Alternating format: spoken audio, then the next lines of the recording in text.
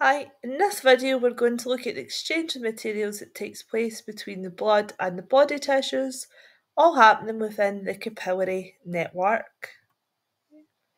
So we know that the site of exchange of materials, nutrients like oxygen and glucose are going to leave the blood and enter into the body cells, and the body cells are going to get rid of their waste products such as urea and carbon dioxide and that's ultimately going to enter into the blood plasma.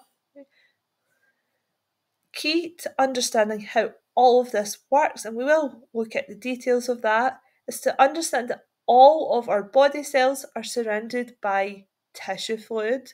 So the tissue fluid is this interface between the cells and the capillaries, the blood plasma, so anything leaving the plasma and going to the cell must first pass through the tissue fluid, and equally anything leaving the cell to enter into the blood vessel must also pass through that tissue fluid.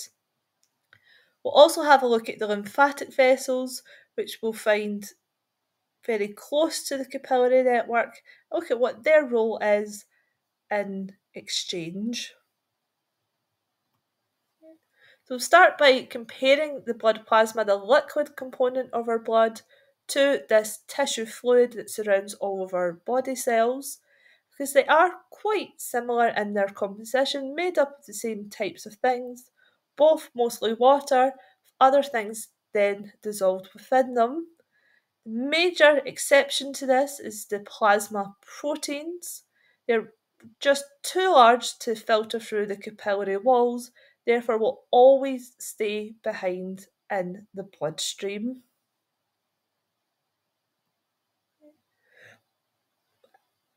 Otherwise, we'll composition between these two fluids will mostly be the same, but how is it that we get things like the oxygen and glucose out of the blood and things like the carbon dioxide in?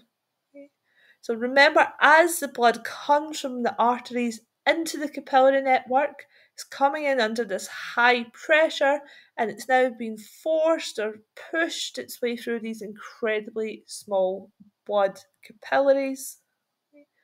So, what that does is it creates a pressure or a force which squeezes the blood and forces out those key substances. And we refer to this as pressure filtration. So things like oxygen, glucose, other nutrients from digestion, they leave the blood plasma, they leave the capillary, and they go into the surrounding tissue fluid. And there, from the tissue fluid, can make their way into the body cells. Body cells will use these substances for their chemical reactions, their day to day activities. So they then need to get rid of their metabolic waste, things like carbon dioxide, which will diffuse out of the cells into the tissue fluid and then into the blood plasma. So the vast majority of this tissue fluid will ultimately be returned to the bloodstream. Quite close to these capillaries, we'll also find the lymphatic vessels, and it's their role to absorb any excess tissue fluid to make sure it's there in the correct quantities.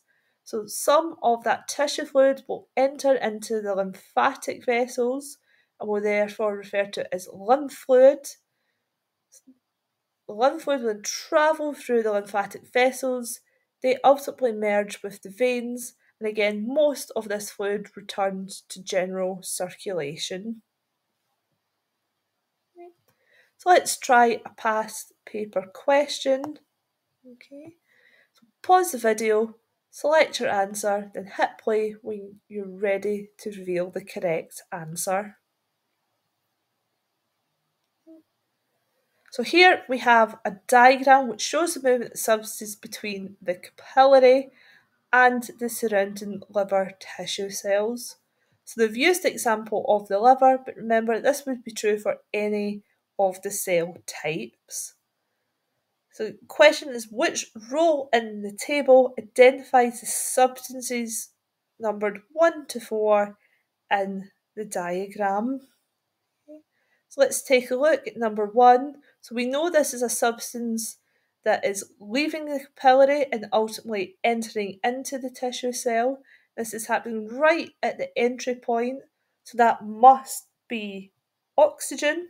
It's the first thing to leave. Number two is also in the capillary and ultimately entering the tissue cells. So, looking at this table, it must be something useful to us. So, that's the glucose.